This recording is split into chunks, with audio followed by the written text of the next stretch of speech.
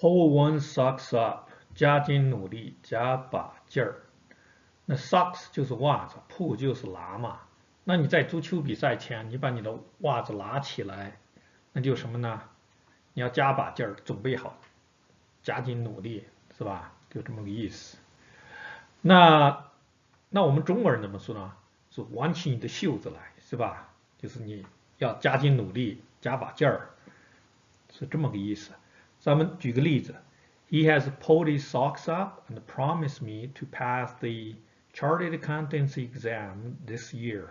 他加紧努力学习，并承诺我今年呢考过会计证书。